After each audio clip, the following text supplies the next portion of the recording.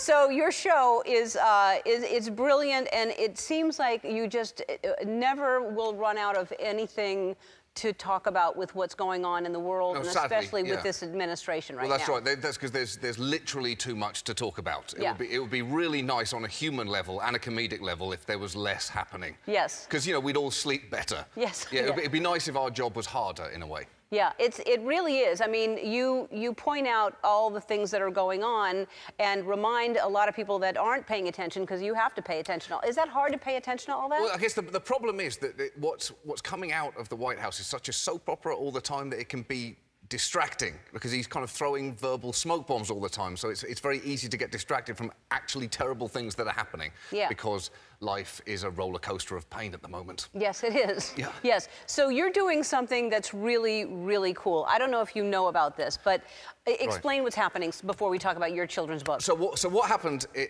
it was on our show on Sunday, um, Mike Pence, who is a man who I think has few qualities to his name. However, one thing I love about him is his rabbit. He has a fantastic rabbit. Uh, I, I have no beef with his rabbit whatsoever. And hi- his rabbit is called Marlon Bundo, which is an outstanding name for a bunny. You, you don't, you don't have to like him to acknowledge that's excellent bunny naming. See, It's and it's a great bunny. if you have, uh, if you have a problem with that bunny, you're dead inside. uh, so, uh, but he, he clearly, uh, to put it in the nicest possible terms, is not a friend of the LGBTQ community, uh, Mike Pence. So he's written a book about his bunny, or his family have written a book about his bunny, and so we, on top of that, have, have released our own book about his bunny. Uh, where his bunny falls in love with another male bunny and gets married because that's the world we want to live in. So it's a children's book. All right. It's a children's book. All right. So.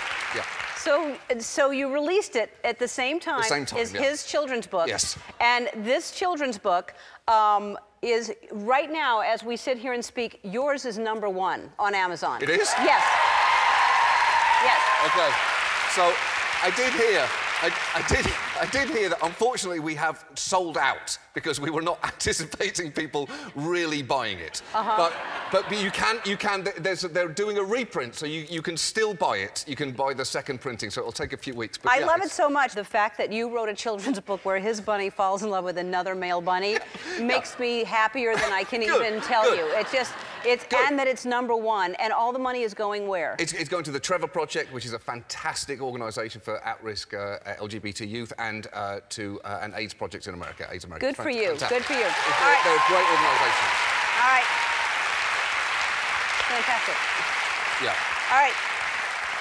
So uh, you're doing so much good. So we are talking during the break, and because of what you do all the time on your show, you have to pay attention to all the stuff that's going on in the world and how scary it is. Mm-hmm. And you have a little boy. He's two years old. Yeah. And how is? Uh, uh, what do you feel about that? At the moment, he doesn't really understand what's happening in the world, and kind of long may that continue, because it, it's I don't have to explain to him just uh, how sad things are. But part of the reason of, of writing this book was to so that I could read something to him uh, which kind of paints the world in the light that you want it to be, rather than the way that it's currently being painted. Yeah, good for you. All right.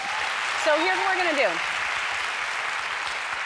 So the challenge is you're going to uh, send you into the audience, and we're going to put 60 seconds on the clock, and we're going to give you a stack of books. HBO is so Mm-hmm. proud and, and a supporter of the Trevor Project. They're going to uh, give away uh, uh, to the Trevor Project $100 for every book that you give away. Okay. So, all right, a couple All right. of, wait.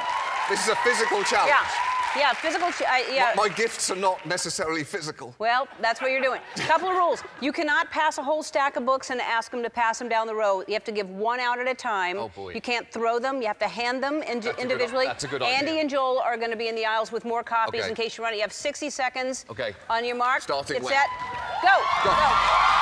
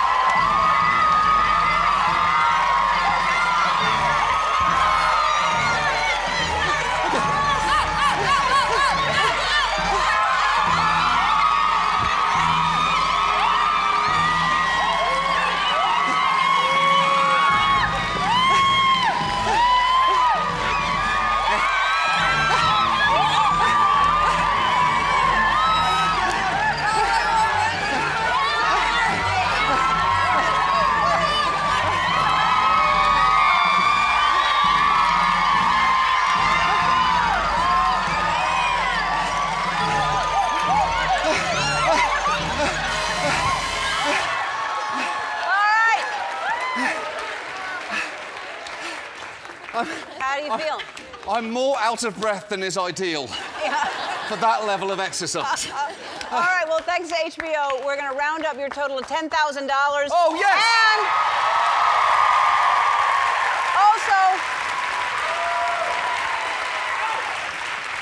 everybody in the audience is going home with a copy, and Last Week Tonight airs on Sundays at 11 on HBO. And everybody at home, go buy this book to help support. Thank you so much. We'll be back.